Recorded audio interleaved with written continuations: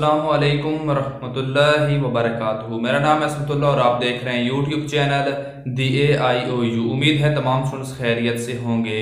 आज की वीडियो काफ़ी इंपॉर्टेंट वीडियो होने वाली क्योंकि अलामा इकबाल ओपन यूनिवर्सिटी ने जो रिज़ल्ट अनाउंस किया है, उसके अंदर काफ़ी ज़्यादा ऐसे तलबा भी हैं जिनके पचास परसेंट नंबर हैं या पचास परसेंट से ज़्यादा नंबर हैं, फिर भी यूनिवर्सिटी ने उनको फेल कर दिया। तो ऐसे स्टूडेंट्स ने क्या करना है जिनके पचास से ज़्यादा नंबर हैं या पचास नंबर है? तो आज की इस वीडियो के अंदर इसी हवाले से आपको शॉर्टकट में समझाया जाएगा। आप लोगों ने क्या करना है, वीडियो को लाइक कर देना है चैनल सब्सक्राइब कर देना है, कोई सवाल है जो नीचे कमेंट कर दीजिएगा तो बगैर आपका टाइम वेस्ट करते हुए अपनी वीडियो को शुरू करते हैं।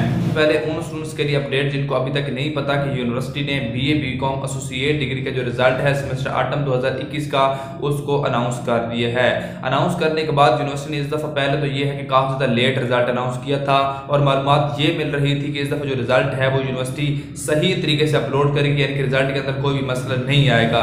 लेकिन पहले की बनस्बत इसके अंदर बहुत ही ज़्यादा मसले आ रहे हैं और एक कॉमन मसला जो कि यूनिवर्सिटी अभी तक ठीक नहीं कर रही वो ये कि अलामा इकबाल ओपन यूनिवर्सिटी के जो बच्चे हैं, जो कि B A B com study कर रहे हैं, उनके पचास नंबर हैं या पचास से ज़्यादा नंबर हैं, फिर भी उनका सब्जेक्ट के अंदर एफ़ लिखा हुआ है, यानी कि फेल लिखा हुआ है तो ऐसे स्टूडेंट्स ने क्या करना है? तो मैंने आपको पहले भी इन्फॉर्म किया था कि आपको एक सब्जेक्ट पास करने के लिए दो शर्त जो है, वो मुकम्मल करनी पड़ेगी, दो उसके कंपोनेंट होंगे। फॉर एग्ज़ाम्पल के पहला कंपोनेंट ये है कि आपके पेपर में से पचास नंबर होने चाहिए लाजमी। अगर पेपर में पचास से एक नंबर भी कम है तो आप उसके अंदर फेल कर दिए जाएँगे। अभी कुछ स्टूडेंट्स हैं जिनके पेपर में पचास नंबर है, पचास से ज़्यादा नंबर है, लेकिन फिर भी रिज़ल्ट के अंदर फेल शो हो रहा है तो स्टूडेंट्स ने क्या करना है? स्टूडेंट्स का मसला ये है कि उनके असाइनमेंट के नंबर नहीं लगे हुए।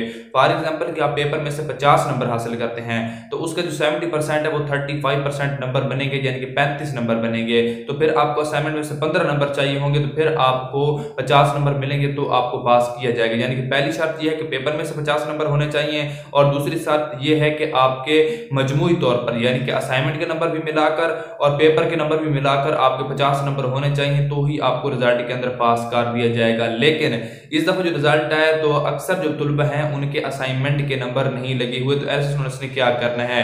उसके हवाले से मैं अलहदा से आपको एक वीडियो बनाकर समझा दूँगा कि जिन स्टूडेंट्स के असाइनमेंट के नंबर नहीं लगे, उन्होंने किस तरह असाइनमेंट के नंबर लगवाने हैं। तो ऐसे स्टूडेंट्स जिनके पचास ऊपर नंबर हैं, वो ये चेक करें कि उनके असाइनमेंट के नंबर लगे हैं या नहीं लगे? अगर नहीं लगे तो लग जाएँगे टेंशन नहीं लेनी। और अगर लगे हुए हैं, फिर भी फेल है तो वो रिज़ल्ट उनका अपडेट कर दिया जाएगा। और जिन स्टूडेंट्स के पचास से कम नंबर हैं, वो फेल हैं, उनको री एडमिशन करवाना ही पड़ेगा। तो उम्मीद है वीडियो आपको अच्छी लगी होगी। पचास नंबर के हवाले से तमाम बात अब आपको मैंने क्लियर कर दी होंगी। कोई सवाल नीचे कमेंट कर दीजिएगा। तो आज की वीडियो यहीं पर एंड करते हैं। मुझे दीजिएगा इजाज़त। अल्लाह